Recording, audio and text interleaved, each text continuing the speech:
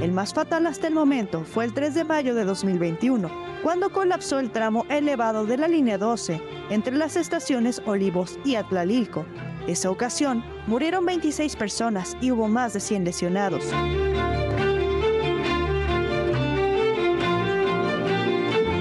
En tanto, el 28 de abril de ese mismo año, usuarios de la línea 8 tuvieron que ser desalojados de un tren averiado entre las estaciones Escuadrón 201 y Atlalilco.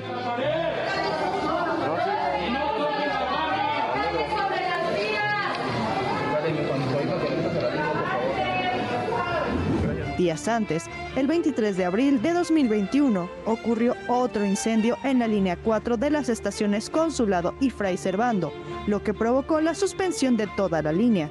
El 9 de enero de 2021, se incendió la subestación de control del metro, considerada como el cerebro de operación del transporte.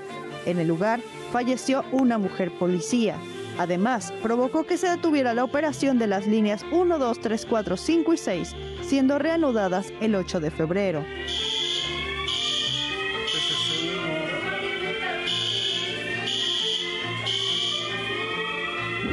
En tanto que el 11 de marzo de 2020, dos trenes chocaron en la estación Tacubaya de la línea 1, donde murió una persona y hubo al menos 41 heridos.